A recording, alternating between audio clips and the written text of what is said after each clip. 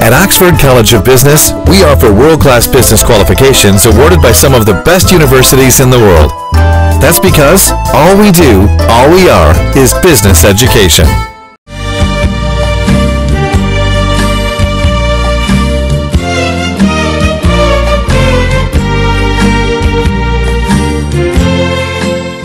Voluntary assistance was offered throughout last night by many from across the country to help the people in their hour of need.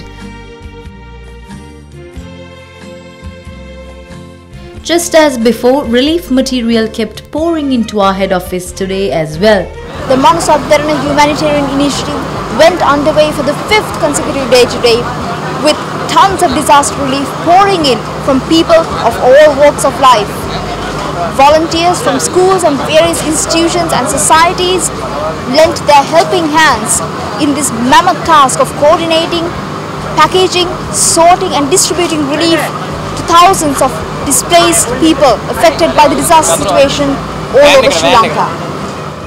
Many artists, representatives of educational institutions and civil society organizations as well as the private sector gave their support to the initiative. Derana is working really hard for a worthy cause and we trust Derana. That's why we make our contributions to Derana. And we think joining with you can make it easy to uh, get close to the ones who are in need of help. We are here from the Faculty of Medicine of University of Colombo. We have volunteered to give a helping hand to all our brothers and sisters affected by the floods. We are from Vinlanka Hospital, Kohuwala. So we thought that uh, Manusath Derana are the best group of people that we can. We all are here to help uh, Manusath Derana and we are always with uh, Sri Lankan people when there is an hour of uh, need. In addition to the collection point set up at the Derana head office on number 320 TB Jaya Mawatha, Colombo 10, 11 other collection points were also set up across the country to accept relief supplies donated by the public. The accumulated relief goods were handed over to the affected areas in most parts of the country. Teams of off-road vehicles proved to be most helpful to our cause in accessing most difficult areas when distributing relief material. The bus drivers of the Palapatwila route in Matale also donated funds to the Manusath Derana initiative. Relief goods were distributed to 500 families in Pinikahana, Elpitiya by boat. Meanwhile, Sri Lanka Red Cross contributed to the distribution of relief aid through all its channels throughout the Manusath Derana campaign.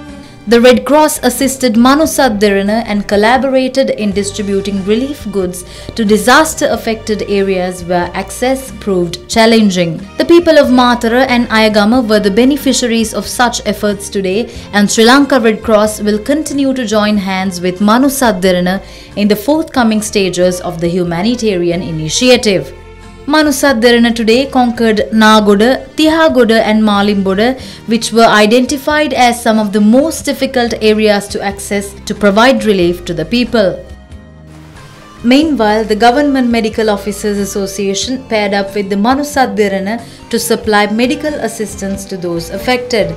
A special series of clinics commenced today with the Sampath Bank also contributing towards the cause. At the moment, we have also make a special team specialized in psychiatric management, good in counseling, because we have identified the areas where the psychiatric help is needed now. After few days, the concern for the relief mechanisms are getting away. That should not happen. Accordingly, the first clinic commenced at the Yatagampala Primary School in Bulathsinhala, Kalutara. Meanwhile, medicine worth 2 million rupees was donated to the Manusath Derana humanitarian initiative by the Alaris Lanka Private Limited for the series of clinics which will be worked off across the country. We are giving out essential medicines today and we know that it will get into the right hands as Manusath Derana distributes this.